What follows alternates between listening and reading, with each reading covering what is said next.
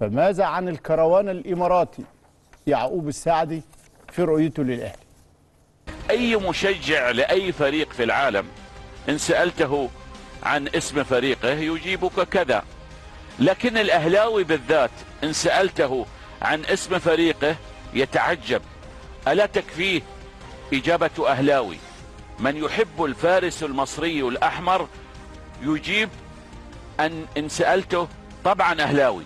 وكأن جمهور الأهلي في مصر وفي الوطن العربي يؤمن أن الأصل أن تكون اهلاويا.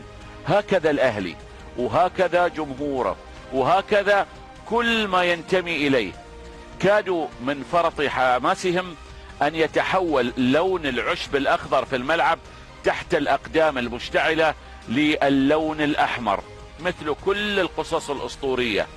نسج الاهلي قصته من بطولات وانتصارات وإنجازات مثل كل هذه القصص الأسطورية. من يطل من نافذة الاهلي خالد على مر السنوات. في أول الحكاية أو في الوسط أو حتى في منتهاها. لا يبدو الاهلي بحاجة إلى تلك البروتوكولات. الحكاية طالما فيها الاهلي تبدأ منه وعنده. الأهلي في مصر أكبر من فريق ومن بطولة ومن أهداف. لقد سم... لقد سمعته في بيوت أسر مصرية بسيطة يدوي من النوافذ معلنا أن للفرحة هتاف.